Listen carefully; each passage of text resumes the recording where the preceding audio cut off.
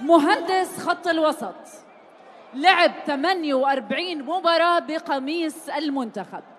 كان ظهوره الأول أمام الكويت عام 2019 واجه 34 منتخب مختلف.